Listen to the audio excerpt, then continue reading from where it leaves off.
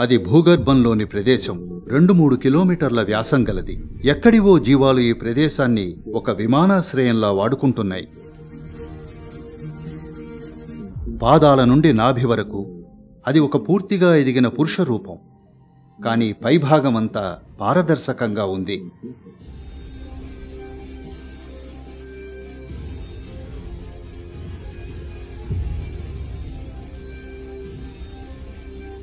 అతని సమస్య ఏమిటంటే అతను ఈ సౌర వ్యవస్థలోకి కొన్ని నిర్దిష్ట సమయాల్లోనే ప్రవేశించగలడు. వాటికి నేను శరీరం లేకుండా కావాలి. ఒకరోజు అందులోకి అడుగుపెట్టి ఏం జరుగుతుందో చూస్తే బాగుంటుంది.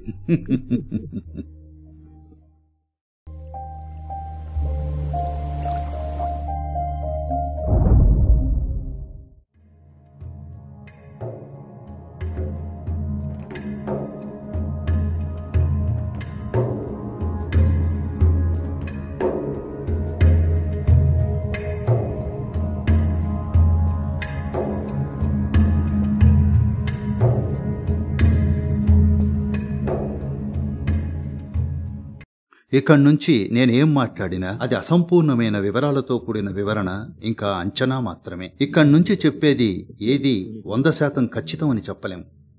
మనం కేవలం పరిశీలిస్తున్నామంతే.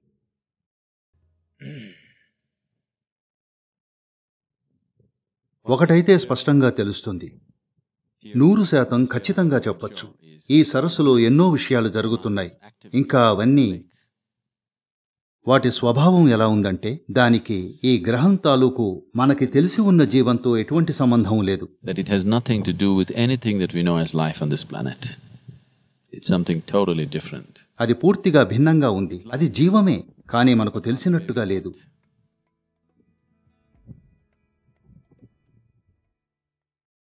నేను మానసరోవర్ని ఆధ్యాత్మిక ప్రదేశం అని అన్ను ఎందుకంటే ఆధ్యాత్మికత అనేది మనుషుల నుండి వచ్చేది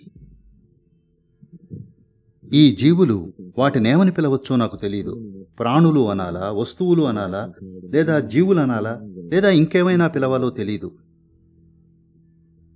మన అనుభవానికి అతీతమైన విషయాలను లేదా సంఘటనలను వివరించడానికి మన వద్ద పదాలు ఉండవు. ఇవి మనకు జీవంగా తెలిసిన దేని కోవకు చెందినవి కావు. పదాలు లేవు కాబట్టి ప్రస్తుతానికి వీటిని జీవులు అందాం. వాటి స్వభావానికి మనం ఎవరు మనం ఏమిటి అనే దానితో ఎటువంటి సంబంధం లేదు కనీసం ఈ స్థాయిలో. కాబట్టి నిజానికి ఇదొక ఆధ్యాత్మిక స్థలం కాదు. కానీ ఎలాగో కానీ వేరే చోటుకు చెందిన జీవాలు ఈ ప్రదేశాన్ని ఒక విమానాశ్రయంలా వాడుకుంటున్నాయి. అవి అద్భుతమైన వేగంతో ల్యాండింగ్ టేకాఫ్ ల్యాండింగ్ టేకాఫ్ చేస్తూ ఉన్నాయి. ఇది అసాధారణంగా ఉంది. అది ఏ తర్కానికి అందేది కాదు. ఇన్ని లక్షల సంవత్సరాలుగా భూమి మీద ఈ ఒక్క ప్రదేశాన్నే ఇక్కడకు చందని జీవాలు ఎందుకు వాడుకుంటున్నాయి? ఈ ఒక్క ప్రదేశాన్నే ఎందుకు? ఇంతకాలంగా ఎందుకు?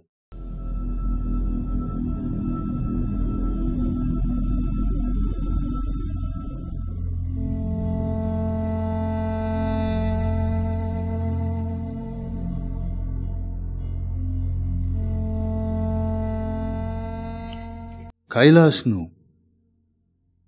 ఎప్పుడూ అనేక మంది మహానుభావుల నివాసంగా ఎందుకు పరిగణిస్తారంటే ఎంతోమంది మహానుభావులు తమ జ్ఞానాన్ని నిక్షిప్తం చేసి భద్రపరచడానికి కైలాష్ను ఎంచుకున్నారు.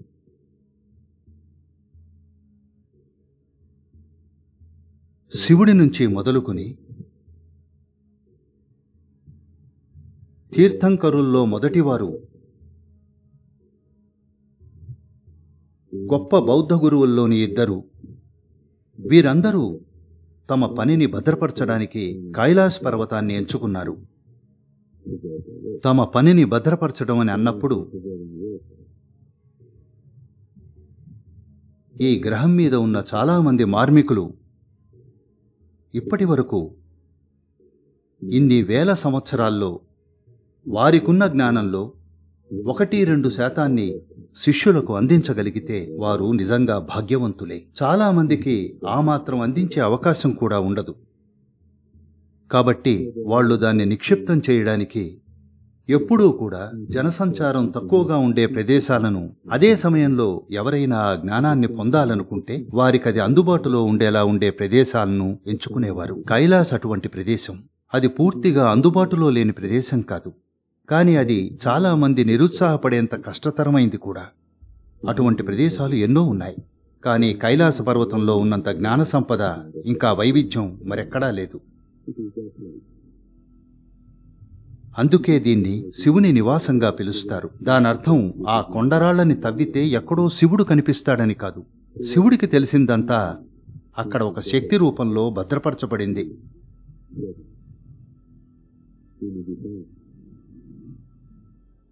కాబట్టి శివుని జీవితం తాలూకు మనకు విలువైనదంతా అక్కడ ఉంది. అలా చూస్తే ఆయన అక్కడ సజీవంగా ఉన్నాడు.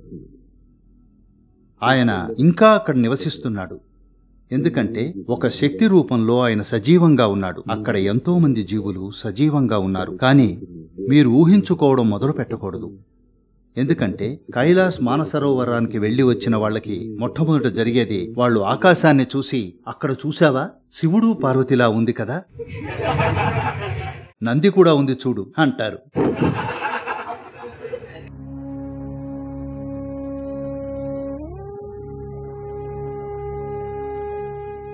మానస సరోవరం